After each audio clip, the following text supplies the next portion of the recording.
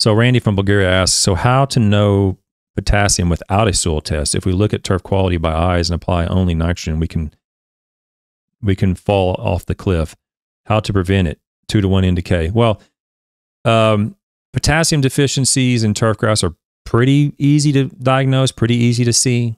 Uh, I'm still looking for that photo from my Twitter account that I can't find. I have a photo of a very clear photo of a leaf that's that's exhibiting potassium deficiency.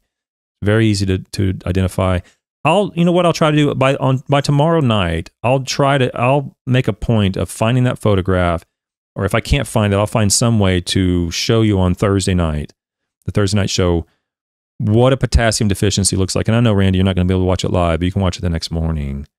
Um, of what it looks like in the in the in the plant, which leaf it occurs on first, and what the leaf looks like when there's a potassium deficiency. It's not particularly difficult to to diagnose. Okay. Um, but let's say worst case scenario that you can't diagnose it, you don't you don't have the skills or you don't want to learn the skills or whatever the case is, and you're like, you know what, I I'm not confident that I can actually diagnose that. If that's the case, then just do a two to one N to K. And if you have a deficiency, that's probably going to cure it. Don't do a one to one. Don't do a one to two. You don't need to go out with straight potassium at, at three pounds of potassium. You don't need to do that. So if if you're so inclined, if if you know, I, I, I agree. I mean, you know, if you don't know how to diagnose it and you you're unable, you're not confident, then just put out two to one decay.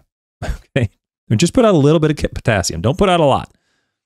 And if you had a potassium deficiency, that would solve it.